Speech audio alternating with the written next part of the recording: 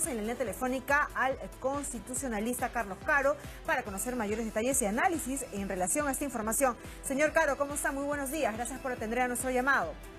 Muy buenos días, ¿cómo le va? En principio, eh, ¿qué impresiones en relación a esta decisión que ha tomado la segunda sala penal de apelaciones, que también sabemos no afecta a este recurso de apelación que también había interpuesto Jaime, Jaime Yoshiyama?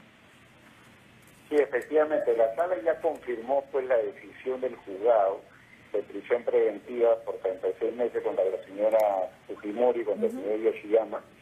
Y yo creo que el tema que ha pesado bastante son las pruebas nuevas que ha aportado el fiscal José Domingo Pérez en la audiencia de prisión preventiva en primera instancia. Por eso recordar que esta misma sala, la Latosa Guanay, es la sala que había revocado la detención primigenia que se dictó en octubre y que duró ocho días, ¿no? Entonces era esperable, en cierto modo, que vuelva a revocar la detención en esta ocasión de 36 meses, pero no ha sido así. ¿Qué ha cambiado? ¿Qué ha variado? Desde mi punto de vista, la prueba nueva que ha apuntado el fiscal José Domingo Pérez, porque en la detención preliminar de 20 personas, recordemos que hubieron varios que se sometieron a la colaboración eficaz. Entonces, hay nuevas declaraciones, nuevos testimonios, nuevas pruebas de cargo, salió también el tema del chat de la botita. Entonces, creo que todo esto ha jugado en contra de la defensa de la señora Fujimori y ha hecho que finalmente la balanza se incline a favor de, digamos, de la prisión preventiva por 36 meses.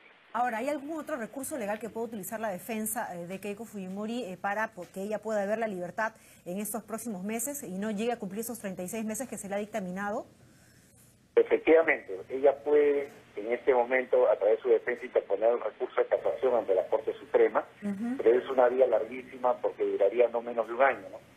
Y la otra opción es la que siguió el expresidente Humala y la señora Heredia, de interponer una acción de habeas corpus que finalmente llegó al Tribunal Constitucional y al mes 9 recién significó su posibilidad de salir, ¿no? Y esa segunda, ese segundo procedimiento es mucho más... El segundo procedimiento, el de la acción de habeas corpus ante el Tribunal Constitucional, podría ser incluso mucho más rápido, tomando en cuenta los procesos que tiene el tema del recurso de casación. Sí, podría ser rápido, pero hay que recordar que el habeas corpus interpone ante un juez penal de primera instancia, luego va a la sala superior, y luego recién va al Tribunal Constitucional. ¿no? Entre el juzgado y la sala, el trámite puede tardar tres o cuatro meses o tal vez más, ¿no? depende de la celeridad de la propia sala, la que le impongan los abogados, y este recurso podría estar llegando al tribunal en seis meses, ¿no? al Tribunal Constitucional. ¿no? Claro, y el Tribunal Constitucional, no es que tiene el expediente, dada la celeridad del caso, porque se trata de reo en cárcel, puede tardarse dos o tres meses en fallar, como pasó en el caso del Mala Heredia, que al mes nueve recién lo liberaron.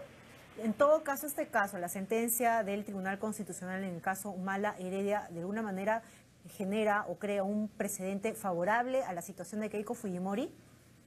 Desde mi punto de vista, sí. Punto de vista, el tribunal ha elevado el estándar para una prisión preventiva, lo cual es positivo, dado que la prisión preventiva es la excepción, la regla es la libertad durante el proceso, y para el Tribunal Constitucional la clave no son las pruebas de cargo del delito, sino las pruebas del peligro de fuga o el peligro de entorpecimiento de la actividad procesal, que es lo que en este caso yo creo que ha jugado muy en contra de la señora Fujimori, es decir, las supuestas amenazas, la supuesta compra de testigos, la supuesta, digamos, este, amenazas al fiscal a través de, reflejadas en el, en de la botica, creo que eso es lo que ha jugado en contra y para el Tribunal Superior eso, digamos, ha justificado que se mantenga la prisión preventiva pero si vamos al Tribunal Constitucional, la cosa puede cambiar, porque en el caso de Madre Heredia, por ejemplo, todo lo que fue la supuesta compra de testigos por el caso de Madre Mía, no tuvo un peso adecuado porque no era un tema que era directamente imputable al señor Humale, que nos había probado que él fuera el que hubiera comprado presuntamente testigos. En el caso de la, la señora Fujimori, un argumento similar la podría favorecer. Ahora, en el caso Fujimori se ha visto agravada la situación por el tema de obstrucción a la justicia. Ese es el término por el cual eh, se le da, en todo caso, se, le niega esta posibilidad de poder terminar o de repente acabar o acortar la prisión preventiva. Bueno, sí, pero hay que tener en cuenta que el cargo de obstrucción a la justicia es un cargo que recién se formuló en diciembre, es decir, posterior a la prisión preventiva. Ella le impone la prisión preventiva en el mes de octubre, es por el cargo de lavado de activos. Pero evidentemente un cargo más que se sume en el camino puede evidentemente haber jugado en contra de ella porque obstrucción a la justicia, presunta obstrucción a la justicia, implica una forma de entorpecimiento de la actividad probatoria, con lo cual podría haber jugado en su contra a nivel del tribunal de apelación. Ahora, ¿cómo se complica o tal vez se agrava toda esta situación eh, eh, con su defensa legal, tomando en cuenta que hoy el juez Richard Concepción Carguancho, sabemos, reanuda la audiencia de comparecencia restringida para la abogada de Keiko Fimori? Es decir, Yulán Lazo también eh, no la está pasando bien, digamos, porque ella está siendo acusada de presunta obstrucción a la justicia. Sí, e, evidentemente esto es algo que va a restringir las posibilidades de la defensa, porque aquí el juez Concepción Carguancho no imponga una medida restrictiva contra la señora Juliana Loza. Lo que va a suceder es que va a estar limitada, digamos, en la defensa, porque ella va a jugar como defensa y como imputada, ¿no?